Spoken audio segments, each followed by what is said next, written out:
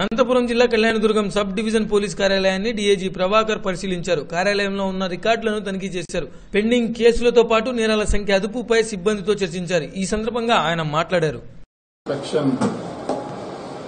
భాగంగా office inspection జరిగింది. Records verification.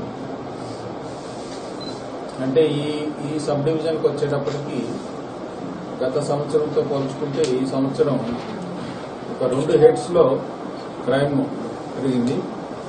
Murders attempt murders పెరిగినాయి కొంచెం బట్ దొంగతనాలు తర్వాత చీటింగ్ కేసెస్ రోడ్ యాక్సిడెంట్స్ తగ్గినాయి. సో రోడ్ యాక్సిడెంట్స్లో కొంచెం ఇంకా లాస్ట్ ఇయర్ మీద గణనీయంగా తగ్గించగలిగారు. కొంచెం చర్యలు ఎక్కువ తీసుకున్నారు. ఎస్పీ గారు వచ్చిన తర్వాత దాని మీద ఎక్కువ శ్రద్ధ పెట్టి చాలా వరకు తగ్గించారు. కాకపోతే ఇంకా రాయదుర్గం సర్కిల్ ఇంకా తగ్గాలి. దానికి ఇంకా ఏమేమి చర్యలు తీసుకోవాలన్నది ఇన్స్ట్రక్షన్స్ ఇవ్వడం జరిగింది. మర్డర్ కేసెస్లో కూడా అన్ని కేసుల్లో కూడా ముద్దాయిల్ని అరెస్ట్ చేయడం జరిగింది.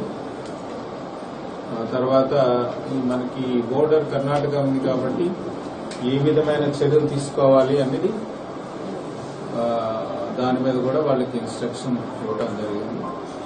ఓవరాల్గా రికార్డ్స్ అన్ని కూడా సాటిస్ఫాక్టరీ తర్వాత ఇప్పుడు కొత్తగా సీఎం గారు దీని మీద మనం టోటల్గా CC cameras all over the state ఎక్కువ సీసీ కెమెరాస్ అన్ని రకాల సీసీ కెమెరాస్ కంట్రోల్ చేసి కమాండ్ కంట్రోల్ కనెక్షన్ ఇవ్వడం జరుగుతుంది. దానిలో భాగంగా మనకి ఆల్ బోర్డర్ ఏరియాస్లో అన్ని కూడా నెంబర్ ప్లేట్ రికగ్నైజ్ చేసే కెమెరాస్ని పెట్టడం పెట్టడానికని ఒక ప్లానింగ్ చేయడం జరిగింది. ఇప్పుడు వీళ్ళ ఏరియాలో ఎక్కువ కర్ణాటక బోర్డర్ ఉంది కాబట్టి కర్ణాటక బోర్డర్ ఎక్కడెక్కడైతే ఉందో అక్కడన్నీ కూడా సీసీ కెమెరాస్ పెట్టించడం జరుగుతుంది. దాని మీద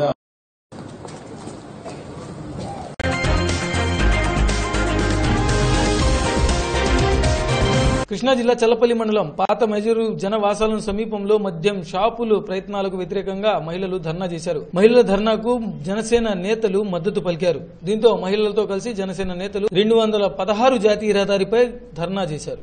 వాహనాలను నిలిపివేశారు. దీంతో ట్రాఫిక్ తీవ్రంగా స్తంభించింది.